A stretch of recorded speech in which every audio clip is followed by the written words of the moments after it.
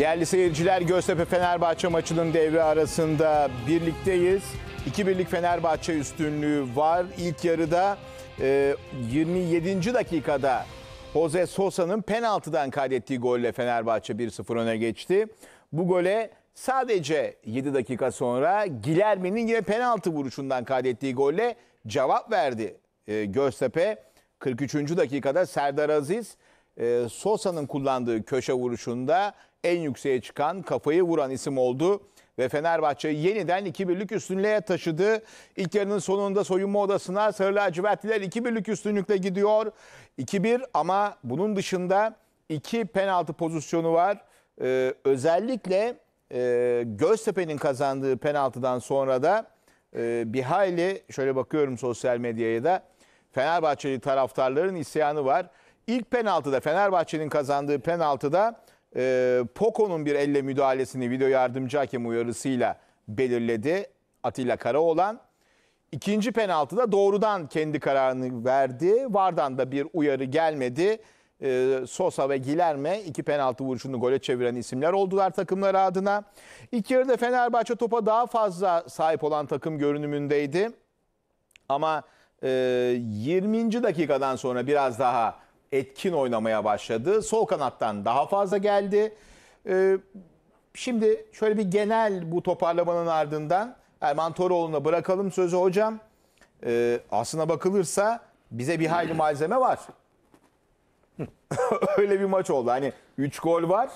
Sağ dışında olan, yapılan, yapılamayan şeyler var. E, ama e, hakemlikte bir hayli malzeme çıktı.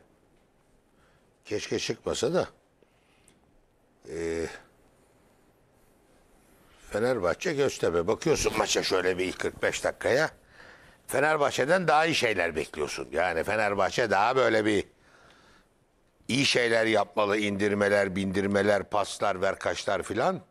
Göztepe'ye bakıyorsun. E, kadro olarak tabii Fenerbahçe kadar değil. Onlar da daha böyle bir ısırması lazım. Onlar da vitaminsiz. Yani şeydeki vitamin fazla. Fener'de vitamin fazla. O vitaminin fazlalığıyla sahaya yansımıyor vitamin. Göztepe'nin vitamini belli zaten. Onun da vitamini belli şekilde yansıyor sahaya. İyi maç mı? İyi maç değil. Skor 2-1 Fener galip. Yalnız tabii burada şu olay var. İşte yok pandemiydi, yok işte milli maç arasıydı, bilmem neydi filan derken bir milli maç arası daha olacak. Hocam bu ikinci milli maçın arasına kadar eğer şampiyonluğa oynayacaksan, küme düşmeyeceksen iyi puan alacaksın. Çok iyi oynamayabilirsin. Ya çok iyi oyun zaten çok zor. Bakıyorsun işte dinlenme var. Futbolcular yurt dışına gidiyorlar, geliyorlar. Milli takımlarda oynuyorlar falan. Hele büyük takımda oynayanlar. Ya aman aman futbol beklemiyorsun da iyi oynamadığın zaman puan alırsan büyük avantaj. İyi oynamadığın zaman puanları alırsan ileride Tabii. büyük avantaj olacak. Bu hem şampiyonlukta hem, Hem de küme düşme düşmede olacak. Evet. Tabii de şimdi hadi futbolcular böyle ama hakemlerin bir bahanesi yok. Çünkü sebep niye bahanesi yok? Ya kardeş size artık varı veriyorlar, bilmem neyi veriyorlar. Şimdi millet konuşuyor. Ben söyleyeyim kestirmeden yani ikinci programa takım oyununa kalmadan. Ee, Fenerbahçe'nin kazandığı ilk penaltıdan önce ilk penaltıdan önce ki penaltı penaltı. Fener'in kazandığı penaltı Vardan geldi. Elle oynuyor Göztepe'li oyuncu.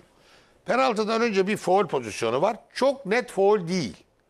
Yani faulü yapan Fenerbahçeli oyuncu taca çıktı. Hakem tacı Fenerbahçe lehine verdi. O top gitti penaltı oldu. Gol oldu. Hakemin takdiri diyorum ama hakemin takdiri fiyasko yani. Topu bilmeyen bir hakem belli. Topu bilen bir hakem o faulü verir. Şiddetli faule giren bir faul. Kimin Fauller de lehine o faul? Bu faul Göztepe'nin Göztepe'nin lehine. lehine. Göztepe'nin lehine faul olacakken Taç oldu. taç oldu Fener'in lehine. O pozisyon gitti penaltı.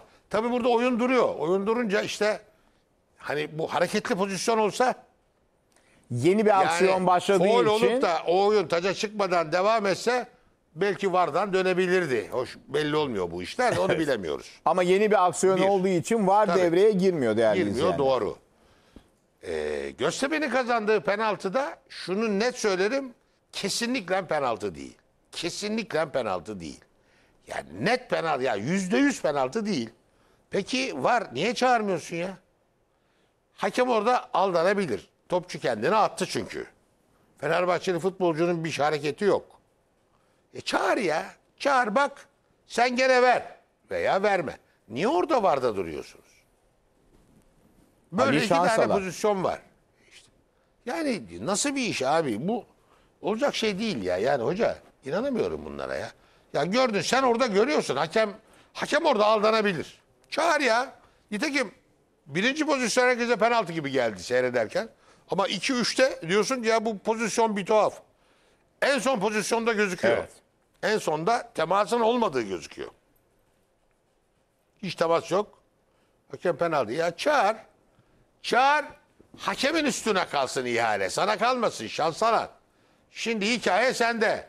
Ha, size görev verirlerse o verenlerin de gözlerinden öpeyim. Size görev verenlerin gözlerinden öpeyim.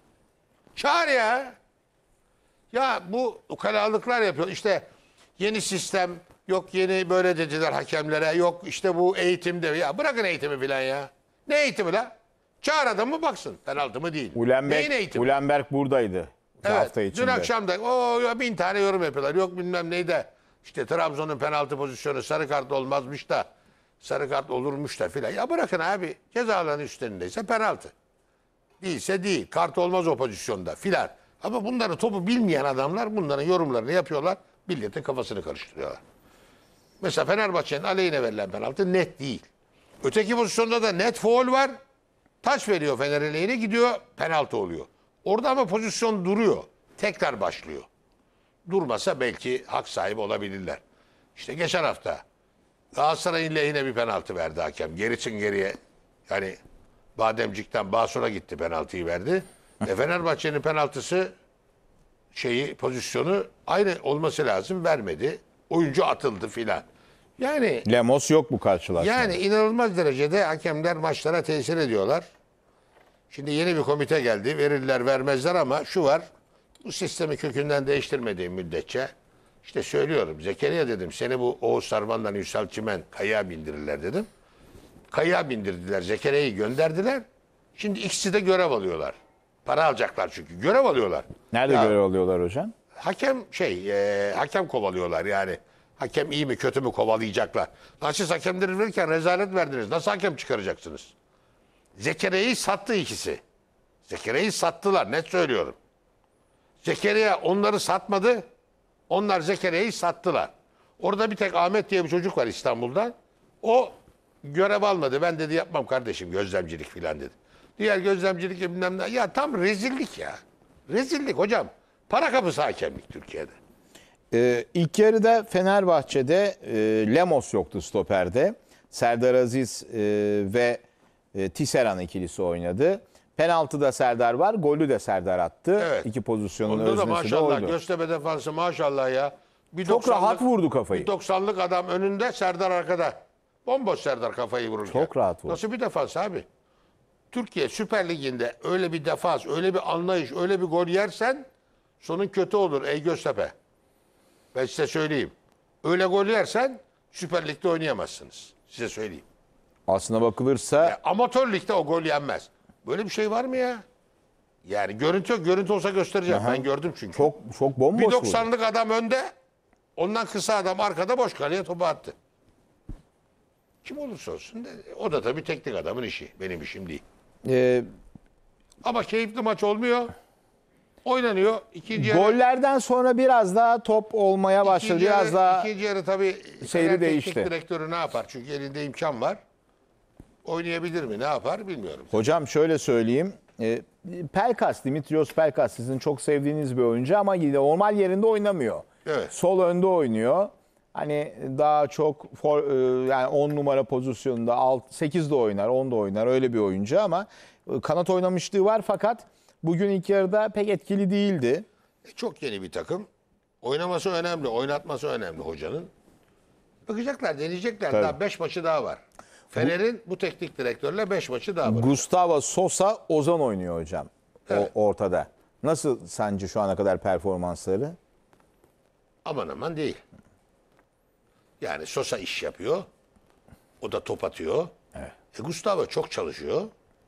Ozan'dan öyle top atma, ara pası filan arada bir bekle. Her zaman bekleme. Onun için orta sahaya daha başka bir adam lazım. Ozan'dan ayrı bir adam. Ozan'ı yine oynat bir yerlerde ama orta sahaya bir farklı adam lazım Fenerbahçe'ye. İşte bu Pelkas önde de oynayabilecek. Yani bir oyuncu. Oraya bir adam lazım. Ozan iyi mücadele ediyor filan. Çok yerde oynatırsın Ozan'ı. Milli takımdan da çok formda geldi. Ya tamam da milli takım ayrı bir olay. Burası ayrı bir olay. Yani Fenerbahçe'nin orasına daha farklı bir adam lazım. Ee, bugün Gökhan Gönül yok. Nazım Sangare'yi orada nasıl buldunuz ilk 45 dakikada? Gökhan Gönül değil haliyle. Yani Gökhan Bir pozisyon Gönül- oldu. Sosa Gökhan bir top Gönül'ün attı. Ölüsü Sangare'den iyi. Affedersin. Ölüsü Sangare'den iyi. Olur. Ölüsü derken tabii mecazi Allah Evet, muhafaza. tabii ki Allah. Genç çocuk ya ölüsü Sangare'den iyi olur. Bence. Caner sol tarafı iyi kullanıyor. Çok kullandı. Caner her zaman belli bir oyuncu yani. E, Trabzon'dan aldığın adam oyna sağ tarafta ya. Ne olur? Nova mı? Nova oynat ya. Şart mı abi ne olur? Oynat ya. Sangare'den iyi olur. Bak çok net söylüyorum. İlginç. İyi olur ya iddia ediyorum. Sangare'den iyi olur Novak sağda. Oynat ya ne olur. Çok topçu, çok antrenör. Ben bilirim yani ters adamı oynatır rakibi bozmak için filan. Oynat ne olur ya. Fenerbahçe'sin sen de ne? Önemli değil ki illa ka- kanun mu? Samat da e, Ben olsam oynatırım. çok fazla topla buluşamadı ama bir iki ön direk arka direk koşusu yaptı. E, stoperleri biraz dengesini bozuyor o koşularla. E, birkaç pozisyon Bozuyor o ama şekilde arkasından yakaladı. gelen yok. Destek. Tabii. Mesela bir iki pozisyon geldiler sağdan. Arkasından gelen yok. Bir oyuncu tek kalıyor. Cezalarında Fenerbahçe'nin daha çabuklaşması lazım. Sosa oraya ne kadar gelir? Ozan'ın gelmesi lazım ya da Gelir Pelkas. ama- birileri geliyor. Gelmeleri lazım ama hocam gelemiyorlar. Gelmeleri lazım. Hatta bir pozisyonda Samat'ta neredesiniz böyle arkadan niye ikinci Evet. topa hamle yapmıyorsunuz diye bir deryansın etti. Sosa gelirse dönüşü düşünecek. Hmm. Gustavo gelirse arka tarafın önünde kim kalacak? Tabii. Yani onu çözmesi lazım Fenerbahçe. Ee, Göztepe tarafında e, Gilerme hani biraz daha serbest bırakmış Göztepe onu. Oralarda biraz daha toplu oynuyor, biraz daha özgüvenli oynuyor. Ama e, savunmada hatalar yaptılar. Bir de Fenerbahçe'nin çok top yapmasına izin veriyorlar sanki hocam. E başka şansları yok. Geliyorlar arkaya gelip arkada bekliyorlar ki orada doğal. Yani baskı yaparlarsa dezavantaj. Baskı yaparlarsa Fener onları deler. Adam eksiltir. Bence doğru yapıyorlar. Arkaya gelip bekliyorlar. Ama şimdi 2-1'den sonra onu yapamayacaklar. Çıkacaklar. İrfan Can'ı nasıl buldunuz Göztepe'nin kalecisi? Şu ana kadar fazla bir şey yok.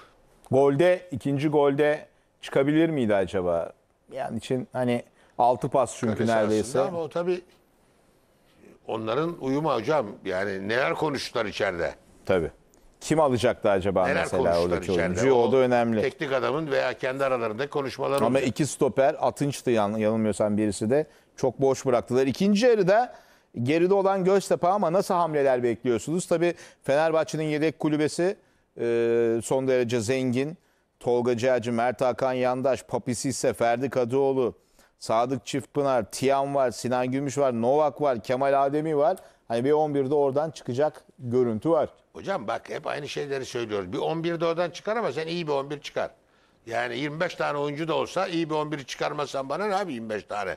2 tane 11'den bana ne? Sen iyi bir 11 bul İdeali ya. bul. 2 11 iyi bir şey değil. İyi 11 iyi bir şey. 2 11 iyi değil hocam. Şu anda buradan hamle Şu yapması, ana kadar şu Fener'in oyun çıkar, sistemi girer beni tatmin dediğiniz... etmedi. Fener takımını ben daha farklı beklerdim. Çünkü artık e, daralıyor, vakit daralıyor. Yani ikinci milli maç arasından sonra Kasım'daki. Erol Bulut'un hiçbir şekilde bahane üretmeye şansı yok hocam. Takımlar yavaş yavaş oyun alanına dönmeye başladılar. İki birlik Fenerbahçe üstünlüğü var. Fenerbahçe'nin golleri Sosa ve Serdar Aziz'den. Trabzonspor'un golü Gilerme'den. İlk goller penaltı vuruşlarından geldi.